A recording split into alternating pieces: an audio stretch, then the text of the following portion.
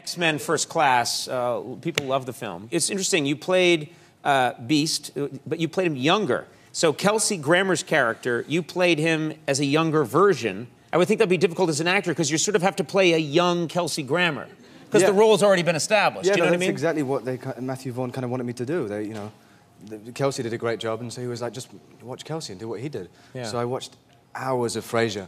I would sit there and just watch Frasier contin- continually. I, I never seen it before. Right. Um, and I'd sit there, and, and that would be my thing to kind of get into the accent a little bit. I'd walk around being like, Niles, Niles, and you know, act- behave a Did little he bit like probably him, want you guess. just to yeah watch him as Beast, not Frasier? That's probably that's I got probably completely the wrong end of the stick. I the watched hours of Cheers, and I think I've got the, down the essence of the character. You also you tried a lot of voices at first for the character, including. Is this true for the audition? You tried Stewie. You tried it in the voice Stewie of Griffin, Stewie. Griffin, yeah. Really? Yeah, that was an odd one where, where Matthew said, uh, yeah, and just do, just do one in, in Stewie Griffin's voice.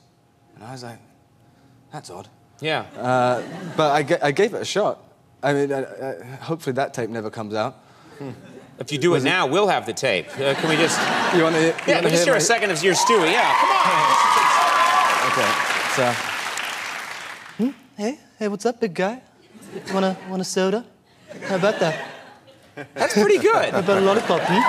I would like. That's- why would he ask you? What kind of director's asking you to do it? You know, now do it as Minnie Mouse. I mean, how is that? How is that helping you? Uh, it, it- they were probably just having a laugh. I, I feel as though that's, that's the thing what's they do in auditions sometimes Yes. with actors. They just see how far they can push you and what you'll do for a job. Yeah. Now put on this little girl's dress and try it. We think that would You know, help. you know about that as well? I saw that tape. Yeah. I didn't over think we were going to talk about that, but.